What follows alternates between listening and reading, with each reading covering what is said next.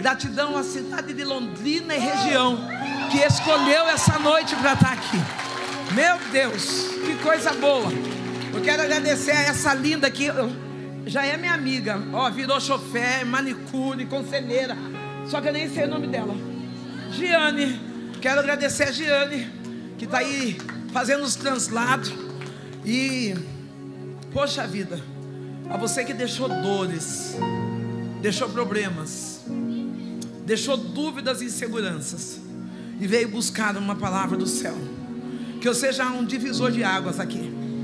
Que tudo aquilo que o Espírito Santo colocar no meu coração eu saiba entregar com responsabilidade e com muita graça. Então, comigo, se você puder colocar no tela, ah, eu vou contar uma novidade, gente. Eu, fui, eu tive um, tive, estou tendo e vou ter um tratamento de princesa nessa cidade. Então eu vou, vou usar um pouquinho óculos, mas depois eu vou tirar porque eu estou de cílios. Coisa da pastora Andréia. É assim, ó, você começa a andar com águia, você sobe o nível. Não, é isso. Aprenda com quem. Ah, pastora, mas eu ando tão para baixo, começa a andar com águia, que Deus já ensina você a subir o nível. É simples assim. Tá entendendo tudo agora? Livro de Ezequiel, capítulo 37. Eu vou ler alguns versos. E você que gosta, que é apreciador da palavra, pode usar seu celular, sua folha. Se sinta à vontade. Diz assim, ó: "O vale de ossos secos. E veio sobre mim a mão do Senhor, e me fez sair no espírito do Senhor, e me pôs no meio de um vale que estava cheio de ossos. Eu vou para o versículo 3. E me disse: Filho do homem, viverão esses ossos? E eu disse: Senhor Jeová, tu o sabes. Então me disse: Profetiza sobre esses ossos, e disse-lhes: Ossos secos, ouve a palavra do Senhor. Aí eu vou lá no último, 14 e porei em vós o meu espírito e vivereis, e vos porei na vossa terra. Então sabereis que eu, o Senhor, disse isso, e o fiz, diz o Senhor. Quando nós começamos a nos preparar para estar aqui, Deus começou a falar a respeito de Ezequiel, começou a falar a respeito da visão que Deus estava dando a Ezequiel. A palavra diz que a mão de Deus, ele pega Ezequiel e leva no espírito para ter uma visão, uma visão de ruínas, uma visão num vale, aonde os ossos que ali estavam estavam sequíssimos. A primeira coisa que eu entendo que o espírito de Deus é um Deus de movimento. Não, não importa o lugar onde Deus vai te levar. Ele sempre tem um propósito para fazer contigo naquele lugar. Não, não importa se é no vale, se é no monte, se é na água, se é na terra. Se Deus está movimentando você, porque Ele está dizendo: não se preocupe, é a minha mão que está te levando. Eu tenho um propósito para onde eu estou te levando. Ezequiel tem uma visão de ruína, porque infelizmente a maioria de nós temos uma visão negativada. Achamos mais fácil não crer do que crer naquilo que Deus vai fazer. Quantas das vezes eu já olhei para a minha história e eu dei como perdida. Olhei para situações da minha vida e disse: Deus, agora não dá mais. Ezequiel olha e o que ele vê? Ele vê uma visão de um vale de ossos que estavam sequíssimos, um lugar aonde estava sem vida. Deus ele pergunta a Ezequiel: pode viver? Ezequiel, com toda a sabedoria, ele disse: Ó oh, Senhor, só tu sabes. Eu quero profetizar para você nessa noite, logo de início, independente do que você está vendo, o final da sua história só Deus sabe. Não, não. Às vezes o inimigo é audacioso E ele fala: Não, no final você vai fracassar, no final você vai morrer de câncer, no final você vai ficar sozinha, no final vai abrir falência. E aí Deus está dizendo: Final, só eu, teu Deus, é quem sei. Ezequiel olha, e quando ele vê a dificuldade, ele vê a impossibilidade. Mas quando ele vê a impossibilidade, ele fala: Eu conheço um Deus do impossível. Ele pode. O senhor pode ficar de pé? Senhor, o Senhor. Relebar, subia, rediga e soe. Relevando cai, chou, deli, reface, aderras. Desde a hora em que eu entrei, e muito cheio de gente nesse lugar, Deus falou assim: Olha para o meu filho. E eu falei: Olha, Deus, eu estou sentada e olhando, e Deus falou assim: Diga para ele que sou eu o Deus que estou restituindo o que ele perdeu. Relevando de serra dai que choube a devassa. O Eterno disse: Tu chegou aqui com uma impossibilidade nas mãos, e Deus está dizendo: Eu já entrei nos documentos, e eu começo a trazer restituição, porque o que é teu ninguém rouba. Satanás mais uma vez perdeu essa batalha, combate se atira, porque ele diz: Ah, ele é meu ungido, ele é meu escolhido, e do meu escolhido ninguém toca. Eu restituo o que você perdeu.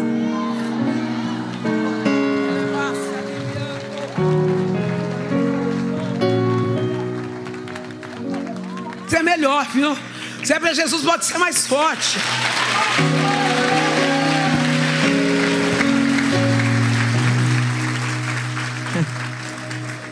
O Senhor, Ele começa a dizer para Ezequiel: profetiza.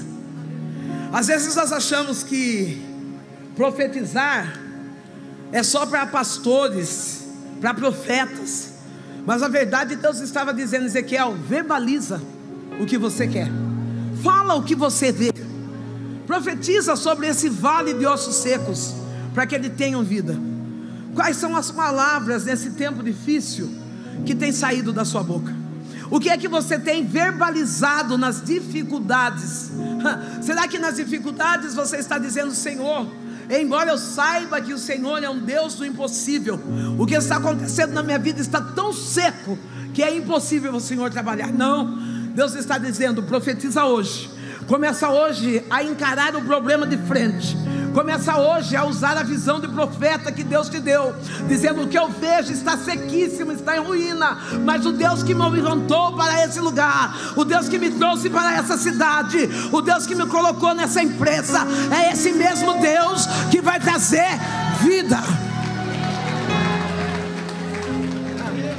Relemaia Chobiácia, cadê o menino que estava tocando aqui?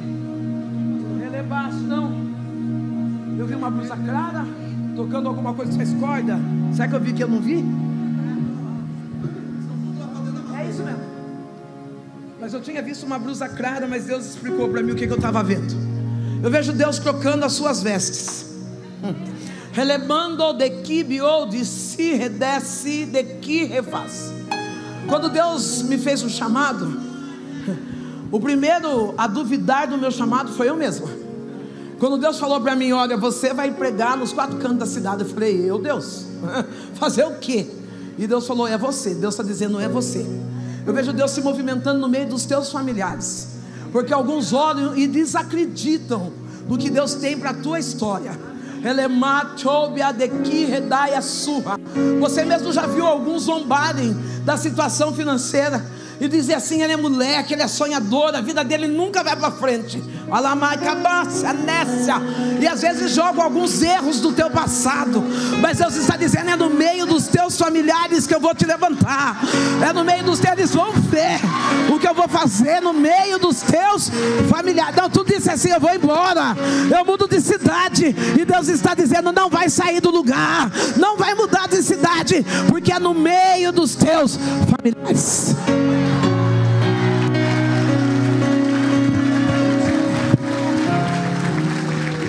Que eu consigo pôr de novo?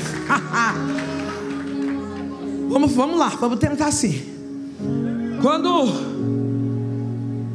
ele diz profetiza, quando Deus dá essa ordem, Deus está dizendo: Eu estou te dando uma responsabilidade.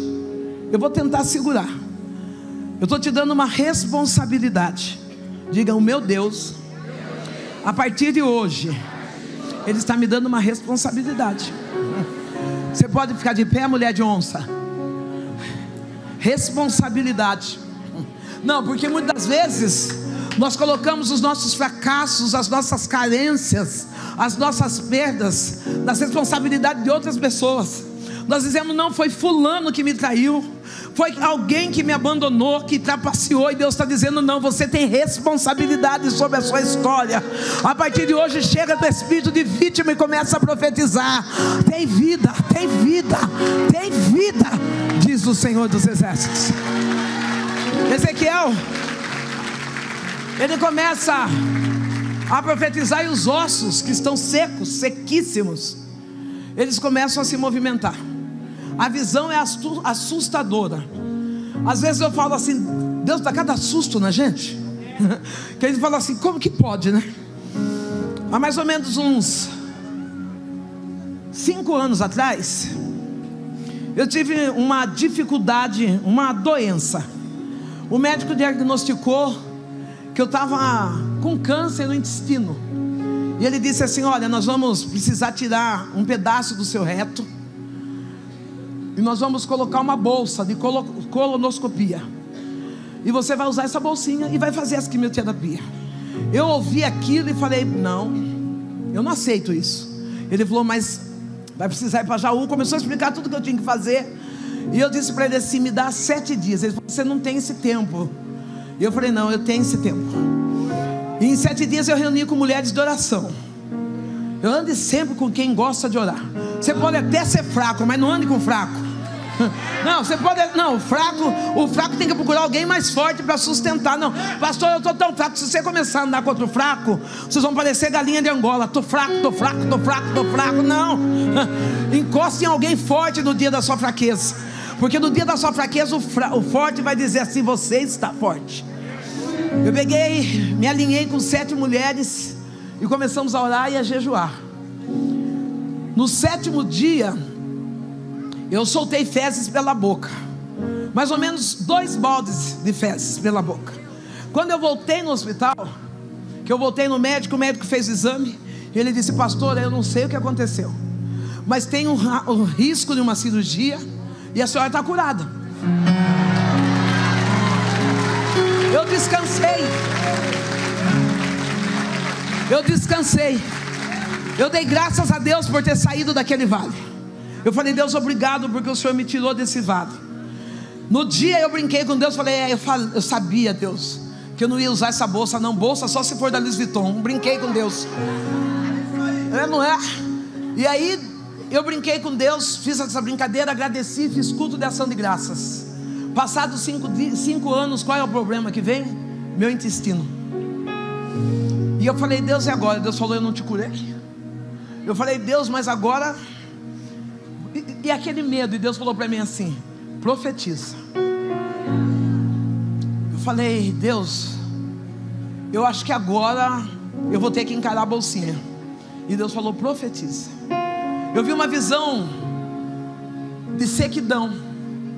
A maioria das pessoas que assistiram meu testemunho, amanhã vou estar contando uma boa parte e na íntegra, no chá. Então, quem não perder muita coisa, eu eu sou uma moradora de rua, uma ex-moradora de rua. Sou, e hoje, através de uma promessa de Deus, eu estou vereadora da minha cidade. Deus me levou no cargo que eu ocupo no legislativo. Deus me levou no corredor abandonada. Me deixou totalmente fragilizada, vendo o quanto eu dependia dele. E eu falei para Deus: Deus, eu estou entendendo que o Senhor me trouxe aqui para explicar que eu sou nada. Querido, quando você pensa que você é alguma coisa, Deus vai te levar para você entender que você é nada. Não essa visão de sequidão que você está vivendo é Deus dizendo: você não é nada, você só está vivendo o que você está vivendo porque eu sou o teu tudo na tua vida.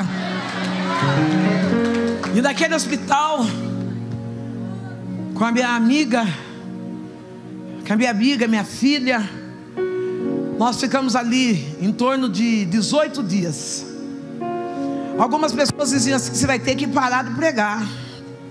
E está tanta receita, gente, veio tanta falácia, que eu falei assim: Deus é melhor operar logo.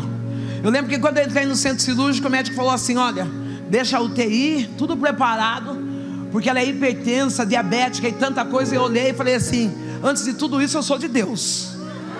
Ele falou assim: Amém, dona Sandra. Então nós vamos operar a senhora. Quando terminou a cirurgia, ele falou: Dona Sandra, dona Sandra. Eu falei: Oi. Ele falou: Tá tudo bem? Eu falei: Mais ou menos. Ele falou: O que você tem? Eu falei: Estou com fome.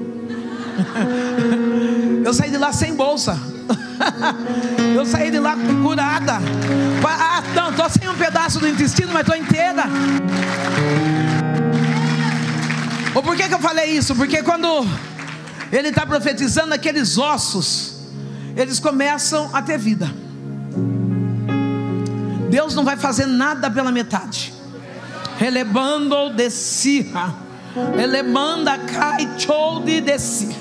Quando os ossos começam a se movimentar, eu creio que como homem, Ezequiel teve medo e disse assim agora, está acontecendo um rebuliço aí. E Deus está dizendo assim: não tenha medo, porque eu não vou fazer nada pela metade. Talvez quando aqueles ossos começam a mexer, você está preparado para o seu passaporte? Lebando elibiando. Quando Deus disse para mim, você está preparado para o passaporte? Eu disse, eu, comedora de lixo, vou para onde fazer o que com o passaporte? E Deus falou assim: faz, setembro estou indo para Londres, prepara seu passaporte, prepara. Deus é maravilhoso. Eu quero pregar, mas tem decreto profético aqui. Eu quero pregar, mas tem decreto de Deus na casa. E eu não vou embora sem entregar tudo aquilo que Deus colocou na minha vida. Coisa linda. Elebai, chou, e asadai, quedácia. Ezequiel, quando ele começa a, a ver o movimento, ele sente medo.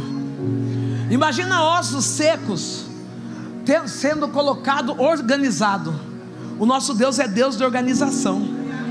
Não, ele não vai trabalhar nessa bagunça que você fez. Porque às vezes a gente faz uma bagunça na vida da gente, né? A gente desgoverna tudo, desarruma tudo. E aí a gente acha assim: Deus vai trabalhar em cima dessa bagunça. Não, Deus vai organizar primeiro essa bagunça.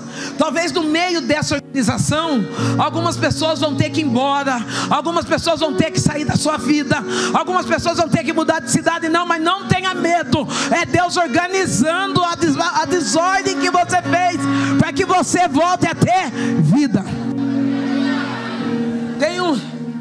Tem uma frase que eu usava muito, e depois a vida, a palavra de Deus, nos ensina muita coisa.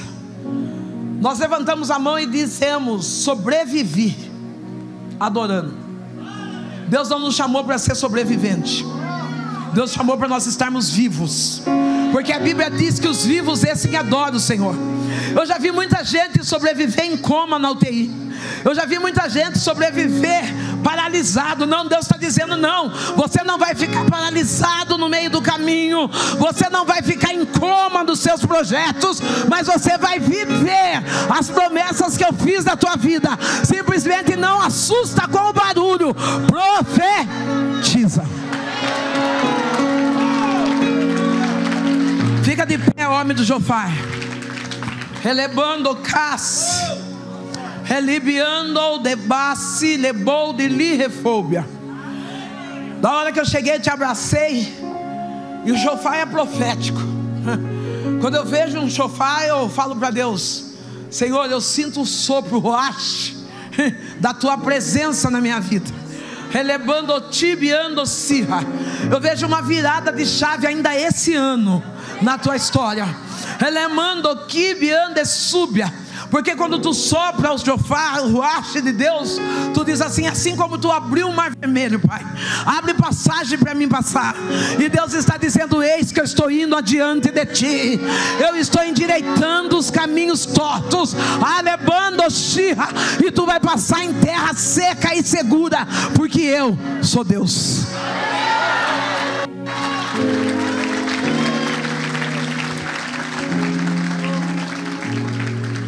Para Ezequiel, os ossos ajuntados, carne, já estava suficiente. Diga, tem milagre que a gente pensa que é suficiente. Ah, não, eu já tomei emprego. Não, eu consegui pelo menos passar na faculdade, mas nem consegui passar, mas não consigo pagar a mensalidade. Deus vai fazer milagre completo. Não é pela metade. Não para com esse negócio de que ai, tá bom até aqui. Deus sempre tem mais.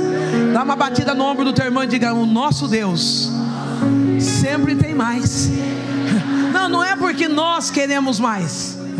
O nosso Deus ele é extravagante mesmo. Ele é o Deus do mais. A senhora de blusa, eu creio que é verde. Se não for, é azul. Fica de pé. Isso. Relibiando é verde, né? Relibiando raça liha Eli decou de. Eu não sei qual é o processo que a senhora está vivendo. Mas enquanto eu estou olhando, eu vejo o inimigo tentando desequilibrar as tuas emoções. Ah, foi uma guerra grande para tu chegar até aqui. A depressão encostado e tu Senhor, a minha vontade é ficar deitada, quieta no meu canto, até essa tempestade passar. Hoje Deus desce com um bálsamo de birra, o bálsamo da cura das emoções. Ele diz: Sou eu Deus que visita a tua casa, sou eu Deus que visita a tua família. Eu estou quebrando o coração endurecido em teu favor. Vai em paz, mulher, porque eu estou quebrando coração endurecido em teu favor.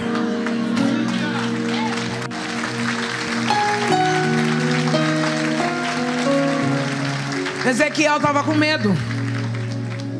Ezequiel, ele olhando, os ossos já não estavam mais sequíssimos, tinha carne, estavam no lugar, porque Deus não tinha colocado braço na testa, pé no ombro, Ele tinha colocado tudo no, no lugar. Ezequiel olha e já está maravilhado com aquilo.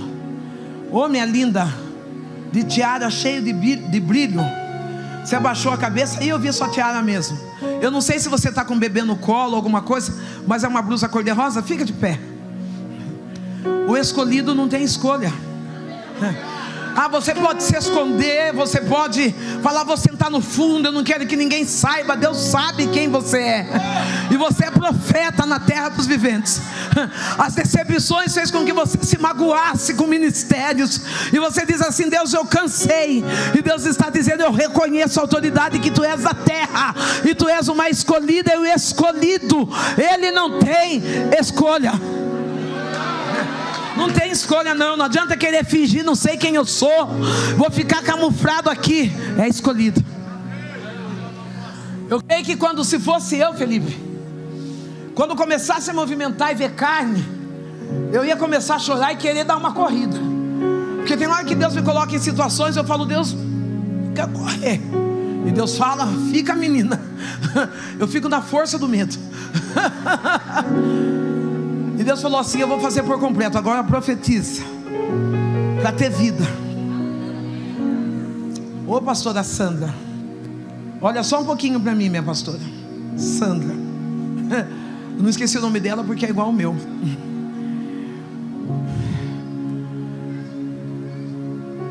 Deus, quando estava usando Ezequiel, Ezequiel vendo aqueles ossos restaurados, mas mortos não deixavam de ser apenas corpos. Deus está dizendo: as pessoas que eu tirei do teu lado eram porque eram só corpos, não existia vida. Não, você tem chorado por alguns desligamentos de pessoas que sentavam à mesa contigo. E tu diz assim, mas como que eles me deixaram? Como eles foram embora? E Deus diz: era só presença, não tinha aliança. Deus está dizendo: a partir de hoje, eu começo a trazer pessoas para fazer aliança contigo, para caminhar contigo, porque presença é fácil ter pessoas presentes ao nosso redor, é difícil aqueles que dizem: a partir de hoje eu tenho contigo uma aliança. Eu já quero profetizar para um homem negro lá no fundo. Levanta a mão, você é o negro maior, careca, eu e você. Só deu nós dois. Ele não pode passar dificuldade, né? As portas estão abertas.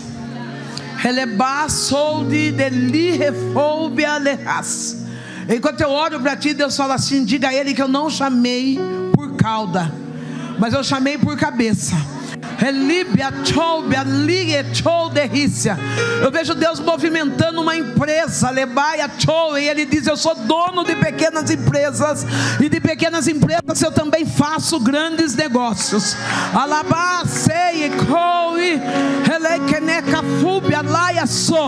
Descansa a tua alma,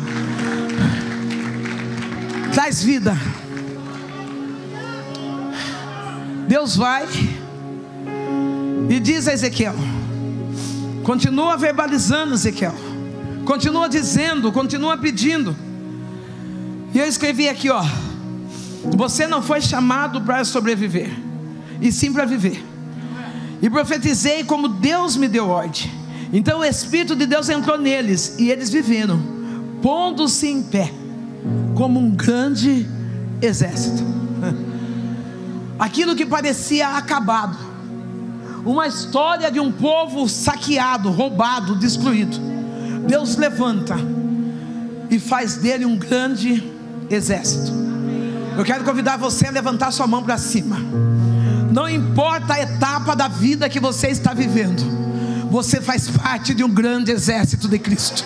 Você não vai viver se arrastando, você não vai viver mendigando, mas você vai viver com vida marchando e dizendo: Eu faço parte de um grande exército de Cristo.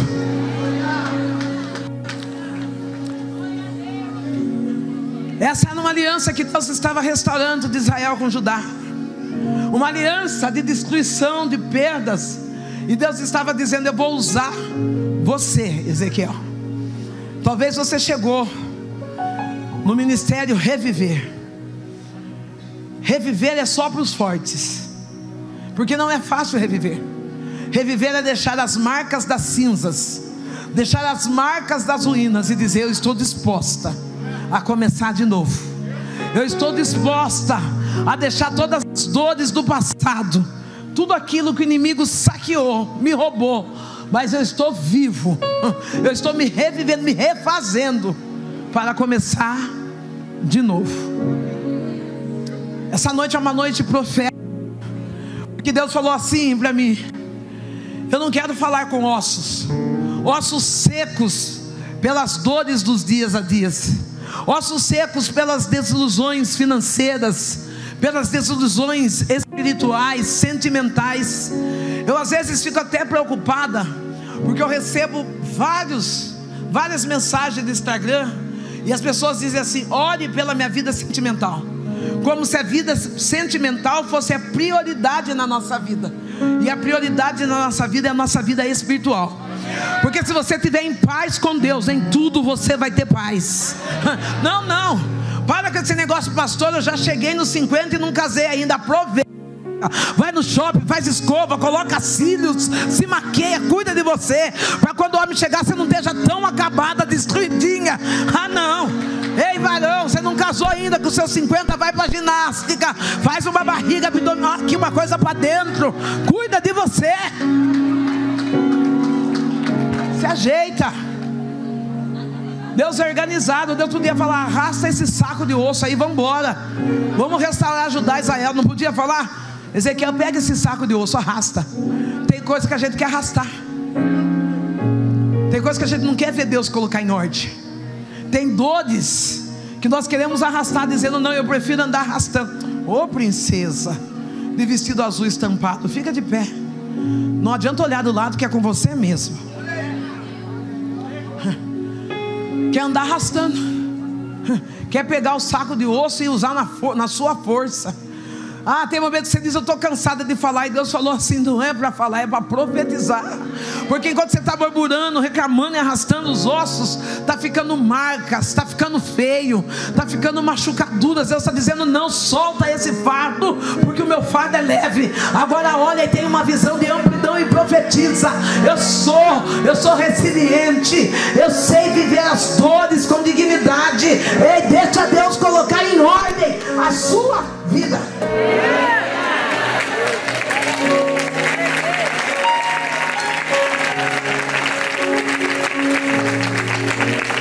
Os ossos estão vivos, aqueles mortos estão vivos, eles estão de pé. Eu não sei se você consegue imaginar a dimensão da barreira que você quebrou para chegar até aqui. Disse que vivia para Londrina, falei para o meu pastor assim, eu sou assembleano. E eu falei para o meu pastor assim, pastor, eu me restabelecendo, o primeiro altar que eu vou subir é na Assembleia de Deus. Eu não veio, porque eu tive que dar conta, né? Em cinco dias eu já estava lá na igreja de pé, bonitinho. Não consegui pregar, mas eu trouxe uma saudação e falei, pastor, agora eu vou para Londrina. E meu pastor falou assim, vai, eu te abençoo.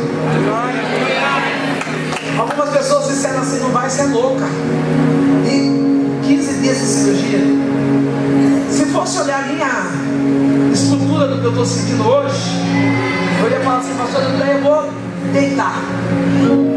Mas eu olhei, cheguei aqui e eu entendi. Deus te chamou para reviver. Para mostrar que você é capaz.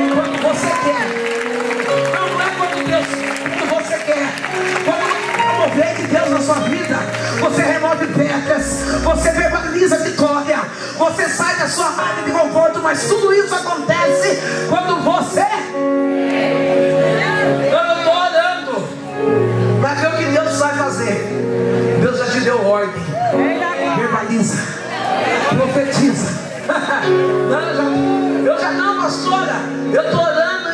Silêncio. Então, porque do jeito que está é porque está bom. Fica quieto. Mas para mim parece que está ruim. Não, se Deus está em silêncio, é porque do jeito que está, está bom. O silêncio de Deus também é posicionamento. Não faça nada sem decisões de Deus. Aquele exército, ele se levanta e começa a marchar. Falei que ia precisar.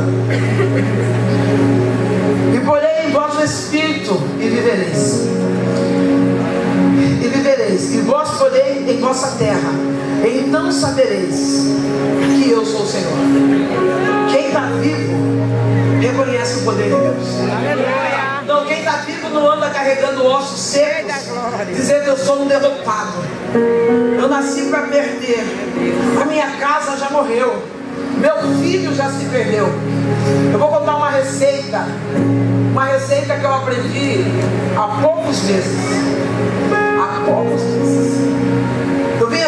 Processo de reviver, de recomeçar. E nesse processo de recomeçar, eu esqueci que eu era mãe. Eu tenho um filho de 37 anos. Se o meu filho fizesse alguma, qualquer uma, qualquer uma, palavra negativada, negativa, ele não precisava procurar ninguém, era só em casa. Pior coisa que tem é quando alguém da família da gente não acredita na gente. Meu filho, qualquer coisa que ele fazia, eu falava, não, você está errado. Não, não é isso. E só reclamando, reclamando. E o meu filho distante. E eu dizia assim, Deus, eu não tenho família. Ai, coitado de mim. Ninguém gosta de mim. Olha, meu filho, eu tenho um filho legítimo. Tenho vários filhos espirituais, mas eu legítimo. Ninguém gosta de mim. Olha, meu filho. E Deus falou para mim, dá uma para, dá uma olhada de você. Os filhos espirituais você paparica. Você leva para jantar. Vai na casa do seu filho, seu filho põe o pé aqui. Você reclama, reclama, reclama. Eu falei, é isso, Deus? Ele falou, é. Meu filho chegou em casa. Comecei a trazer meu filho para. Comecei a inserir meu filho projetos que Deus tem para minha vida. Tem dia que eu ligo e falo, quem que é o filho mais lindo do universo? Aquele menino de 37 anos se porta como um bebê no colo ainda. E ele diz, sou eu, mãe. Ah, oh meu Deus. Meu coração enche de lágrimas porque ele liga e eu falei, eu fiquei, a Marina deu risada porque eu cheguei em casa cirurgiada, pastor. Eu peguei a Bíblia e o papel, comecei a escrever um esboço. Eu tinha acabado de sair do hospital. Comecei a escrever um esboço. Quando a Marina chegou em casa, eu já deitei. Mas quando meu filho chegou, ah, aí eu caprichei. Eu geli, coloquei a mão na barriga, aí eu caprichei. Ah, aí eu dei uma caprichada. E ele, mãe, o que, que você tem, mãe? Pastor, eu não levantei, eu fiz que ele tirasse eu do sofá. Segurei todo o meu peso, gemendo, dizendo, está doendo,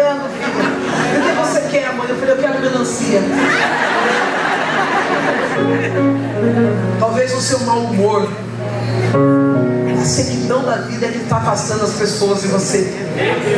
E você está dizendo assim: ó, minha família não liga para mim. Meu filho, minha nora, minha sogra não se importa comigo. Como é que você tem recebido as pessoas da sua casa? Como é que você tem recebido os seus familiares?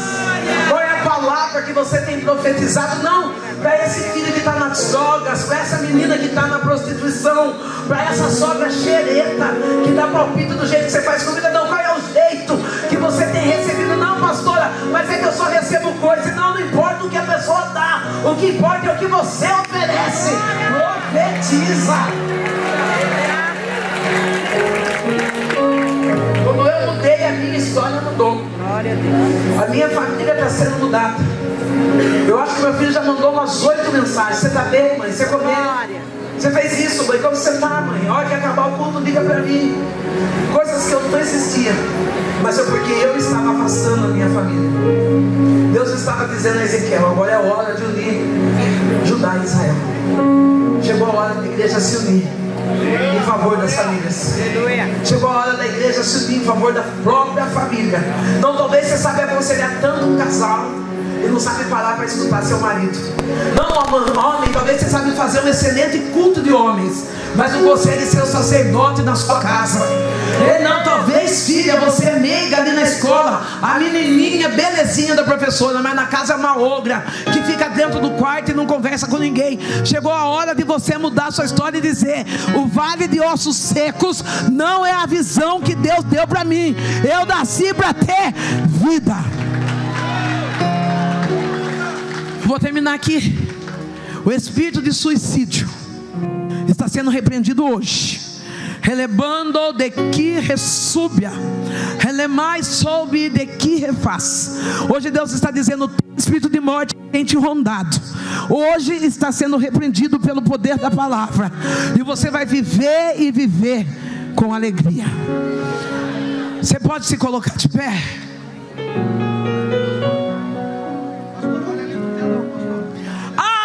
Esse é meu filho.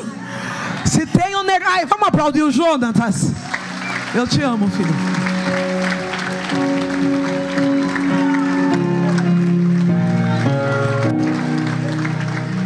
Ele é lindo, né? Jonatas. Enquanto eu não me portei como Ezequiel, esse menino, eu posso, né, pastor? Esse menino nasceu de uma mãe prostituta, de uma mãe que não sabia o que era amor, de uma mãe que, de uma mãe não, de uma mulher, que usava a cama, não era nem por dinheiro, a escassez e a pobreza era tanta, que um bife, uma lata de sardinha, era o suficiente para me deitar com ninguém. Eu amei o pai desse menino. E eu tenho orgulho do pai desse menino, porque o pai desse menino ficou comigo durante dois anos. E quando deu dois anos, ele falou para mim: agora eu tenho que ir embora. Eu conheci uma pessoa e eu estou amando essa pessoa.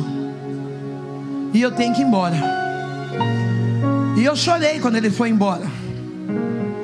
Ele foi embora, se converteu, casou com uma mulher cristã e é pastor até hoje.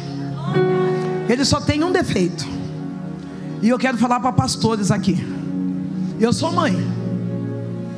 Eu deixei o pecado e eu estou plena como mãe.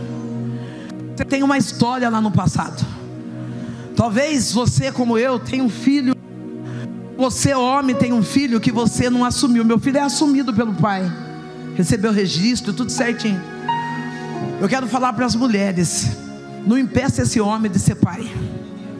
Não impresse, não, não, não deixe que o inimigo destrua a história do relacionamento de pai ou de mãe como filho. Hoje meu filho olha para mim, eu mudei esses dias de casa, e o meu filho que, que foi fazer a mudança, na restauração do Vale de Ossos Secos. O meu filho foi fazer a mudança, pegou os amigos e foi fazer a mudança. Quando ele colocou o pé na porta da minha casa, ele disse assim: Mãe, lembrar que nós morávamos em três cômodos com esgoto que passava no meio da nossa casa. E a senhora agora dentro de uma casa como essa. Uma casa simples, mas uma casa digna de Sandra Alves. É. Esse menino, o diabo tentou de tudo para destruir a história dele. Mas eu me levantei como Ezequiel.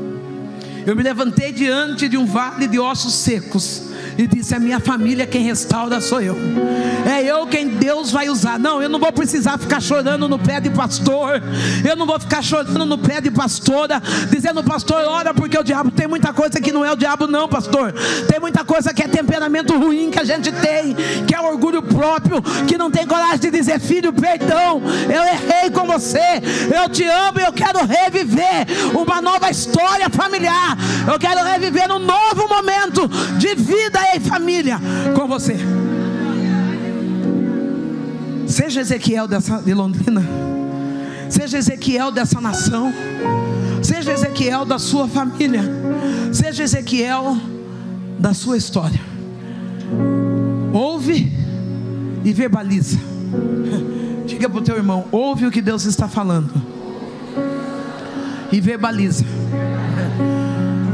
O que o inimigo queria? Que repetisse a história. Mãe alcoólatra, filho alcoólatra. Mulher sem caráter na vida sentimental, um menino sem caráter na vida sentimental. O diabo queria replicar a história, mas ainda bem que eu não dei tempo para dar brecha.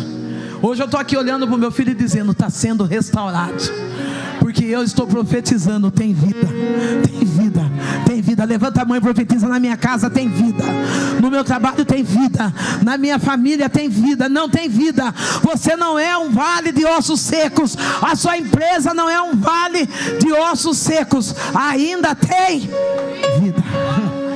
Não, você que vai me assistir, talvez de dia, de noite, de tarde, eu não sei que hora, mas eu quero que você ir na sua casa enquanto você está me assistindo.